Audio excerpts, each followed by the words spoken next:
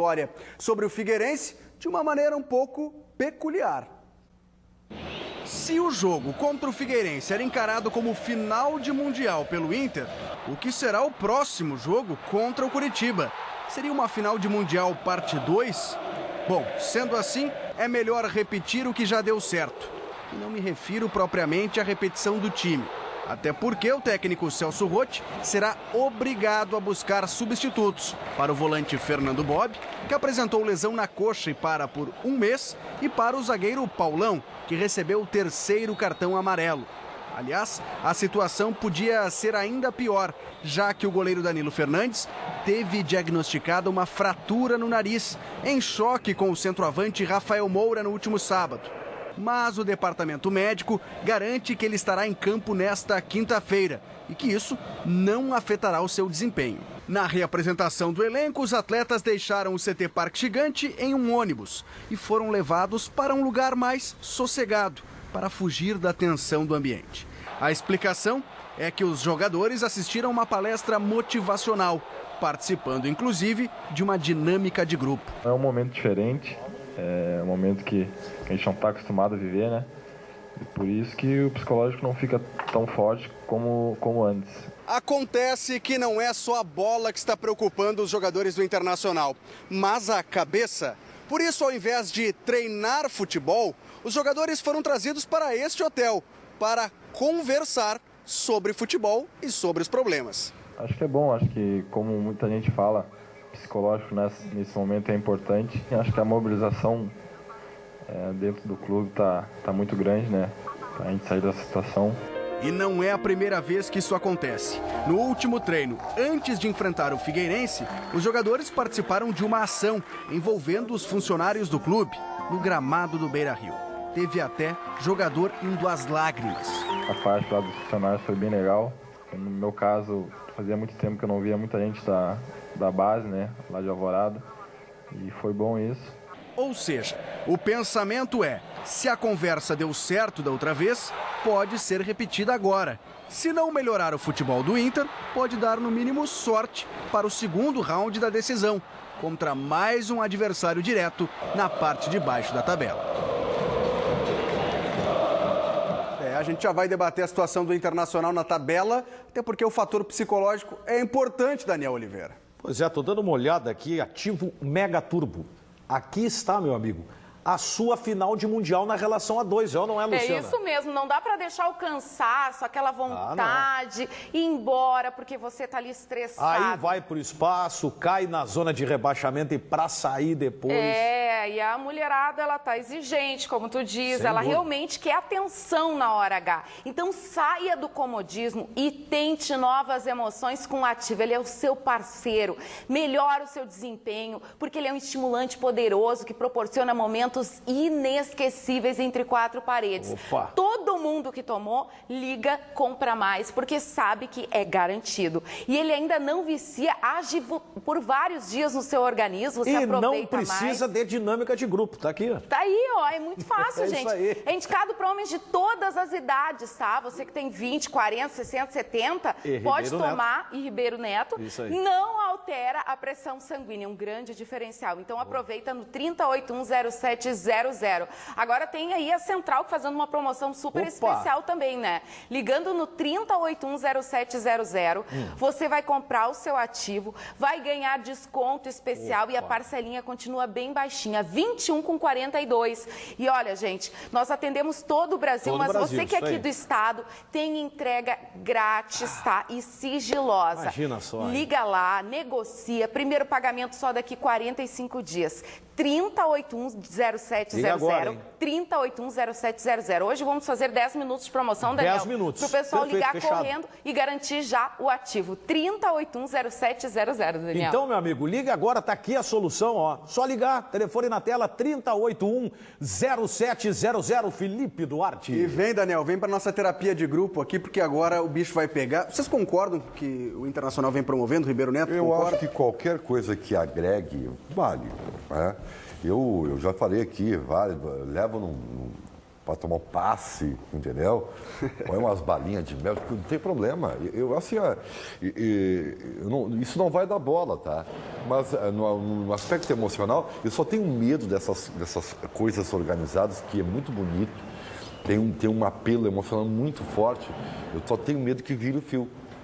Eu já dei o exemplo aqui do, do, do Atlético Mineiro uma vez que botou os familiares no Sim. corredor do túnel, né? E o Atlético tomou 3 a 0 É porque os caras desabaram emocionalmente, entendeu? Então às vezes não pode virar o fio. E, e, mas tudo bem, se o grupo assimilou, se isso agregou, se a palestra motivacional de ontem também, quer dizer, pegaram um coach aí para dar uh, algo, algo que agregue, eu acho que vale, não tem problema. Começou nenhum. às três da tarde, Daniel, e acabou por volta das oito da noite, pá. É. É, é, bom, primeiro que isso é normal, né? Isso, na verdade, é um trabalho que sempre aconteceu. É, mas no caso do Internacional vem num momento importante que veio justamente de uma vitória e que começou com esse trabalho que foi bonito do, do, dos funcionários do Internacional mostrando a mobilização e eu tenho certeza que aquilo mexeu com os jogadores. Claro que não dá bola, é óbvio que não vai dar futebol. Futebol é uma coisa, o psicológico é outra, mas pode, quem sabe, ajudar a ter uma, uma confiança maior. Você falava na, na, da minha participação aqui numa dinâmica de grupo. Dinâmica de grupo com o Ribeiro Neto é pular de band jump sem cordinha. Fala, Ribeiro. Eu só quero dizer isso aqui porque eu não estou conseguindo falar hoje do programa, né? O, o, o fato é o seguinte, tudo bem, terapia de grupo, coach, tudo isso é legal, mas só, só tem uma coisa que vai ser muito mais importante, vai dar muito mais confiança que é a vitória no campo. Nada disso que está sendo trabalhado e que valoriza, Justamente que é importante, é a vitória contra o Curitiba. Isso aí vai ser muito melhor que uma palestra, vai ser muito melhor que qualquer outra coisa. Então, o Inter tem que se ajudar também. Até porque teve essa ação com os funcionários antes do jogo contra o Figueirense. O Inter ganhou do Figueirense. Se tivesse perdido, talvez não tinha papo em hotel. Não, e acho que nem teria, nem teria esse tipo de, de procedimento adotado pela, pela direção, né? Em reunir os jogadores para essa dinâmica e tal. É, então acho que nesse tipo de momento, assim, vale, vale qualquer tipo de. Vale, até para o Grêmio valeria esse tipo de coisa. É verdade. Aliás, falando, falando em Grêmio, né? O Grêmio está muito ligado nessa questão do G6. Uhum. Podem, podem não, a CBF já anunciou que abriram mais duas vagas via Campeonato Brasileiro para Libertadores do ano que vem. O Grêmio que entra em campo amanhã, fora de casa contra o Vitória, e o volante Wallace está falando sobre essa novidade de G6 no Brasileirão. Todo mundo fala, é um assunto que é recente agora essa notícia, então acho que a gente ficou, ficou feliz também com essa, essa notícia. Sabemos que fica um pouco, um pouco melhor para todos que, que estão nessa disputa, que todos que querem disputar a Libertadores. Então a gente vai, vai entrar para vencer e procurar ganhar o jogo. Certeza essa novidade deu um up no Grêmio, hein? Deu, mas claro. deu mais responsabilidade também, né? Então agora o Grêmio tem que esticar a corda, porque, vamos combinar, o brasileiro para o Grêmio estava meio assim, né? Estava se largando ah, é, meio largado tava, tava, tal, né? Estava meio assim pela, pela situação de, de classificação, né? Que, que também é normal, né? É, o Grêmio perdeu para o Cruzeiro porque jogou desfalcado, o Grêmio tem na sua trajetória a dificuldade de jogar fora de casa. Então, uma derrota, ela acabou até sendo normal, né? Agora, com, com, com alguns reforços no time, e essa perspectiva de G6 aí aumenta bastante, né? Eu até é. acho válido o aumento da Libertadores. Quer colocar mais clube, ok. A gente pode até debater isso. Agora, mudar em meio ao campeonato que eu não concordo. Não, eu, eu não concordo, tá? Um, mas um ponto eu tenho que, eu tenho que entender, que fez um bem danado para o campeonato. Sim, com Porque certeza. Porque dá agora uma perspectiva maior para outros né, na disputa. É, que eu me refiro ao próprio caso do tu Grêmio, pega, que já estava largando, né? É, mas eu vou, citar, eu vou citar um exemplo, tá? Botafogo viveu a zona do rebaixamento que eu achei até que o Botafogo seria candidato ao rebaixamento. O Botafogo cresceu, o Botafogo passou do Grêmio hoje, tem um ponto à frente do Grêmio. O campeonato para o Botafogo já é outro. Já, é outro. já dá ao Botafogo uma outra competição, não só se manter na primeira divisão. Quer dizer, ele já pode ver uma disputa de Libertadores da América. É, que, que é, Ribeiro? Não, estou aprendendo aqui, estou te ouvindo, estou aprendendo. Ah, eu tô... concordo plenamente com você. é malandro, hein? Fala manso. É... Ribeiro, Ribeiro Neto e as suas ironias. Concordou com a mudança do G6, Ribeiro? Concordo, acho bom, beleza. Não, mas durante a tá competição eu acho absurdo. Não, mas tudo bem, mas não vamos. Não, não vamos a gente, o, o politicamente, eu sou adepto do politicamente correto também, entendeu? Mas tá bom, beleza. Vai deixar muita gente né, na ativa. É. E acabou com esse negócio de entrega para prejudicar o rival. É, não tem mais né, que papo, começou né? com esse papinho pouquinho aí, é. já, já é. Aí vai ficar complicado. Já é diferente a história. Aliás, falando em politicamente correto, daqui a pouco a gente vai voltar para falar sobre o lance de craque do Alessandro. Foi lançado ontem à noite aqui em Porto Alegre, mas é papo para depois do break. Já voltamos. E da Alessandro lançou ontem à noite a terceira edição do Lance de Craque. A iniciativa é mais um golaço do argentino. De volta a Porto Alegre por só três dias. Tempo suficiente para Andrés D'Alessandro matar os colorados de saudade e lançar a terceira edição do Lance de Crack, o jogo beneficente que já arrecadou mais de 1 milhão e 200 mil reais em 2014 e 2015. Lotando Beira Rio, a gente tem mais é, mais é, ajuda para, para as instituições que precisam é, de nós. A gente arrecada mais e isso faz com que podamos, possamos ajudar muito melhor.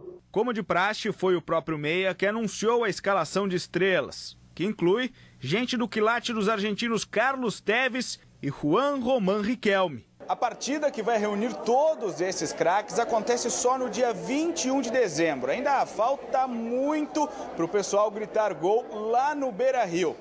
Já essa galera aqui está comemorando faz tempo é um sonho realizado, assim, né? Porque um por conhecer a figura do D'Alessandro pessoalmente e outro por possibilitar uh, uma melhoria, né, na, no atendimento das crianças, dos adolescentes que a gente tem na instituição. São coisas que hoje como atleta me, de, me deixam orgulhoso e como ex-atleta depois que eu largar a minha carreira e eu parar, é, vai ter muito mais, mais valor. É, parabéns ao D'Alessandro, é um belíssimo ato, né? Chega a sua terceira edição em Porto Alegre, mas é óbvio que o D'Alessandro, no evento de ontem, também falou sobre o momento no Internacional e se vai voltar para o Beira-Rio. Fala, D'Alessandro. Em algum momento, tu sentiu um arrependimento de ter saído do Internacional, principalmente sentindo nesse momento agora a situação crítica que o clube se encontra? Chegou a pensar em algum momento que tu poderia estar aqui este ano nessa campanha? Não. É, eu, eu, eu falei uma, uma frase quando saí do clube e é, eu volto a falar hoje. Eu, eu, a minha decisão foi a correta. Eu não tenho por que me arrepender de nada. Eu não sou culpado de nada. Esse que é o ponto. O Inter é muito grande. O Inter é muito grande, não depende de, de ninguém, não depende de um, de um só dirigente, de um só atleta. O Inter é muito grande, o Inter depende do torcedor. É, o D'Alessandro que tentou se esquivar ali. Eu fiquei com o sentimento que o D'Alessandro é capaz de não voltar para o Internacional, Ribeiro Daniel. Ele tem um ano de contrato ainda, né? É. Tem um ano. É. Um belo contrato. Só que nessa entrevista ele lembrou que o campeonato argentino acaba no meio do ano que vem. Meio do ano que vem, então, exatamente. Eu não sei se ele não vai pedir para ficar por lá. É. E acho que ele faz certo, viu? Ele e D'Alessandro, pensando nele, vai ficar próximo da família, dos filhos, dos amigos. É, é que assim, é, é uma coisa meio difícil. Eu, eu confesso para vocês que, que, que é até difícil de interpretar. Né? porque ao mesmo tempo que o torcedor gostaria de ouvir uma palavra de confiança, algo do gênero, eu entendo que ele também não queira interferir, porque pode parecer metido, né? É. Então, não sei. Ah, mas convenhamos. Ribeiro, sejamos francos, o D'Alessandro, o D'Alessandro foi perdendo a liderança num procedimento que ele ocorre com vários clubes, né? É, os ciclos que se encerram.